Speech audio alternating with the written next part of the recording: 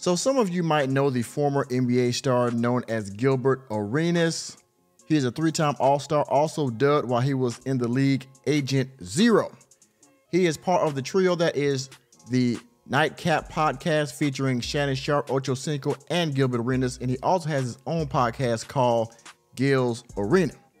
Well, he went on DJ Vlad a few days ago. He, you know, he DJ Vlad. He has uh, interview show where he interviews all these former stars uh, in sports and hip hop and all those other kind of things. He has millions of followers. We all know it. He went on there and he talked about the time where he gave his ex girlfriend, ex fiance Laura Govan, uh, some jewelry and happened to finesse his way to getting it back after some things have happened. And I want to talk about it because it's pretty funny. So we're going to get into it and react and get some information on the subject, the situation, if you don't mind. With that being said, without further ado, welcome to Normieville. I, I can't say anymore. I, am probably already in trouble for mentioning it to a, uh, well, we, we call you normies.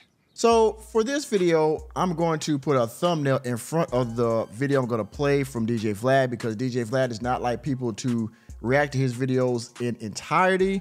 So I'm gonna put a thumbnail in front of it and play the video and then react to it in pieces. It's about a four minutes, three or four minutes long segment. And then I wanna give some information from some past articles on the result of the situation he's referring to. So for all you stop letting the video, stop stopping the video ninjas, for all you let the video play ninjas, I will leave a link to this video in the description box. You can watch without my commentary, all right? Get the fuck out! If you're still here, Thank you for watching and fair use. How you gave your girl a fake ring. a fake diamond ring, which I guess if it were real, it'd be like 400,000. Yeah. What is no, that? Like, like, no. like, so I paid paid three ninety five. I think like three ninety five. Is it three ninety five or four ninety five for what is the it, like real 15 one? carats or something? It was up there. It had it had big stones. It was I mean, 400,000. Diamond all the way around. Yeah, you got you're talking about like 15, 20 Yeah. carats. Like it's like huge, a huge Yeah, it was big. It was, rock. uh, yeah, it was. It was with a with a massive, huge stone in the middle. yeah, there was a big stone in the middle, and then had three stones on the side, and then Right. yeah, it was. But the one in the middle is the was one where big. the that's where the money went. yeah, So as you can see, his ex-girlfriend, ex-fiance, whatever you want to call her, he gave her, I believe, an engagement ring. It was almost four hundred thousand dollars. And of course, we give you know women rings all the time in anticipation of the wedding, calling you my wife, all those kind of things. And somewhere along the way, this relationship is going to go south. And well, he bought her this very, very expensive piece of jewelry that he now has to attempt to, uh, I'm sorry, not achieve, but retrieve without incident. Let's see how he does it. But before I do, let's pause for station identification, shall we? For just $5 a month, please consider becoming a member of Welcome to Normieville. There you will find access to members only videos and members only live streams, as well as a host of other perks. Thank you for your consideration. Back to the video. Fake version of that. yes, How much did that cost you? ten grand. Okay. Yeah. So what? so it was hap- like a good fake diamond. Yeah, so what happened was, you know, when the proposal happened, it was like I think around her birthday. Um, Is this your kid's mother? Yeah. Okay. and what ended up happening is we got in a fight eight days later and broke up. And when we broke up, I'm like, that was a fucking waste of money. I want my ring back. So I was like, how do I get my ring back? Fuck it, I just gotta get her back. but when she comes back, I'm gonna have a fake one and I can switch it at any time. Now that does sound a bit uh, clever, doesn't it? A lot of women out there have commented on this on social media and said it was petty. Oh, you did, you know, you're a, a, a Indian giver, or you know, you heard with that when people would give gifts and give it back and those kind of things. I mean, let's be clear. This is a four hundred thousand dollar ring with the expectation of getting married. We broke up. The marriage is over. Or I gave you this illustrious gift, right? As a man speaking to you, me being a normie, all right? I give you a ring that's four hundred thousand dollars, or no, three, four times what I would make, right? I'm getting that ring back too. Any way I can. If I can't, and then I gotta take an L, right? But if I can figure out a clever way to do it, guess what? I'm getting my ring back because that's when I can sell it back, get put the money back in my pocket, and do something nice for me. Because you're gonna eventually move on, and you're gonna get another piece of jewelry from another guy, right? That's that's just no life, right? So let's see how he is able to find a master plan to get this ring back. Because he's already stated, you know what, I need to get my ring back. How does he do it? And then that's what I did. Had the fake one created and started, hey, missed you. Come on back and do all that stuff. So Come on. she came over with the ring. no, not just like later on. That's like, you know, that's like months later, like four or five months later. Okay. And then, you know, the whole thing was about the ring. and then yeah, and then played house. So for you played house for four months to get that four hundred thousand dollar ring. No, no, after it was four months, and then I had the ring, and then start playing, uh, uh, started playing uh, house again, and then but always, but I never switched it. I just knew that I can switch it at any time, and then years later, and then I eventually switched it, put that one in the safe deposit, and then she just had the fake one. And she never noticed. So, what Mr. Gilbert Arenas did, they broke up. For whatever reason, things went sideways, they broke up. So he buys the fake ring that looks identical to the one he gifted her. And he does his best to befriend her with success, befriends her once again, gets her to move back in. No, yes, is he faking the relationship? Is he faking the interaction? Absolutely. I don't care. I would have did it too. He fakes the relationship in an attempt to get the ring back. And at some point, he is successful with uh, doing the switcheroo on this young lady and getting the ring back. Now, ladies, if you're watching this show, yes, does it sound petty to you? Probably, absolutely. I understand it. However, put yourself in Mr. Gilbert Arenas' shoes. If you buy a man a very expensive gift and you break up with him, okay, you are no longer together mentally, physically, emotionally, whatever, you break up completely.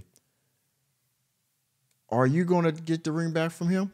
Are you going to get the car back or the house back or whatever the high dollar item is? I bet you, if you're watching me, you're a young lady or older lady, right? You are going to get that property back. You might even sue him. You might try to take it, you know, by force, whatever, but you're going to get it back, and you will have more resources to get it back than Mr. Gilbert Arenas will, or myself being a normie. You'll have more resources than I will to get said item, said property back. Let's finish this up. When did she find out that the ring was fake? I think once we broke up and it was all said and done, and and she started like really going at me in the media. Like when she started like when we first broke up, I didn't do anything. It was like she was fine, nothing, you know, no problems.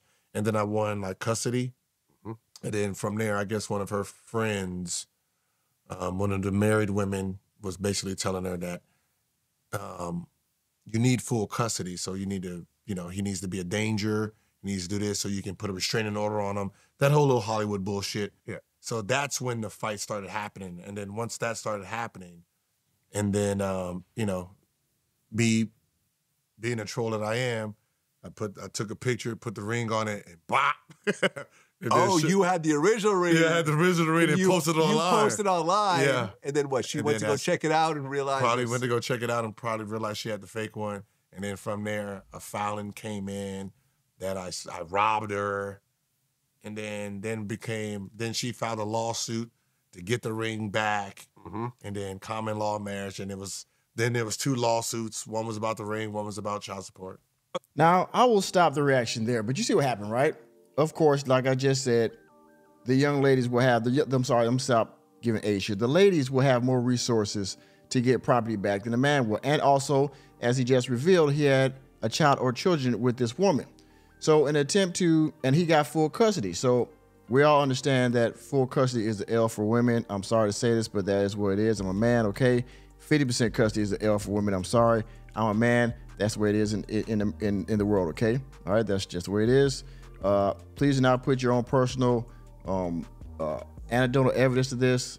In general speaking, that's where it is. All right. Now, he said that you know he did he got full custody and she was salty about it, so she went on a campaign to make him look bad, i.e., get the children back, get child support, get whatever monetary gain she can get out of the situation because she has now taken a loss in the situation in the breakup.